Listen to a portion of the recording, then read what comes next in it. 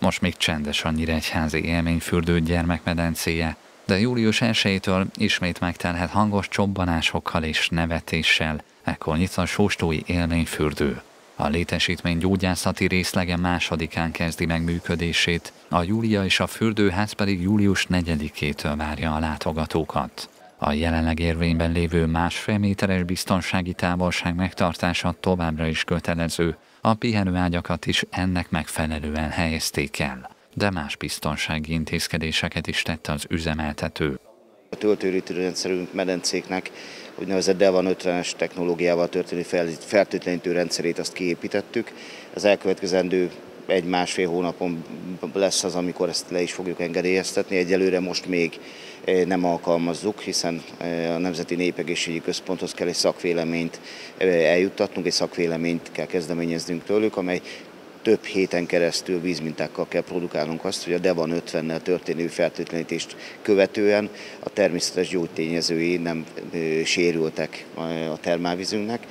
Amikor ezt majd ki fogja adni egy két hét körülbelül, amíg ugye le tudjuk venni a vízmintákat, annak a tenyésztése, a labormunkák, amikor megkapjuk a Nemzeti Népegészségi Központnak az állásfoglalását, utána lehet itt a helyi hatóságnál engedélyeztetni. Ennek köszönhetően egy újabb pandémia esetén is biztonságosan üzemeltethető lenne a fürdő. A nyitvatartás az élményfürdőnél nem a Júliánál viszont változik. Hétköznap 6-tól 8-ig tart majd a reggeli úszás, 8 és 9 óra között a szükséges takarítást és fertőtlenítést végzik az ott dolgozók, majd 9 órától egységesen nyit minden szolgáltatás hétvégén és hétköznap is. Így a gyógyászati kezeléseket is 9 órától tudják igénybe venni.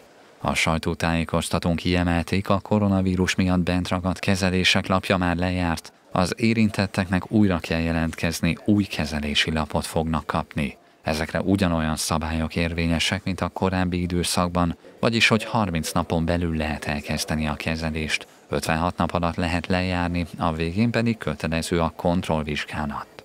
Az igénybe vehető szolgáltatások nagyon változatosak.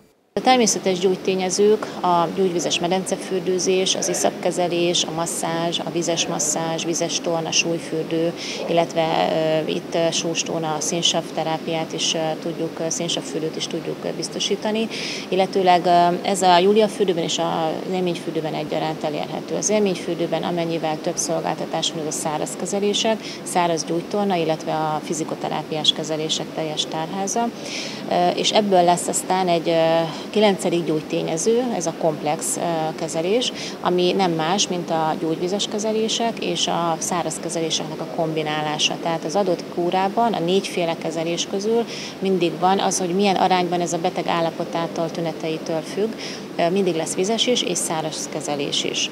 Az érdeklődések alapján azt tapasztalják, sokan szeretnének élni a kezelések folytatásának lehetőségével, bár vannak, akikben nagy a félsz, és még nem mernek becsatlakozni ilyen formán a közösségi életbe. A fürdők nyitásával kapcsolatban kiemelték azt is, az árakon nem változtattak, a korábban megvásárolt bérleteket pedig automatikusan meghosszabbítják.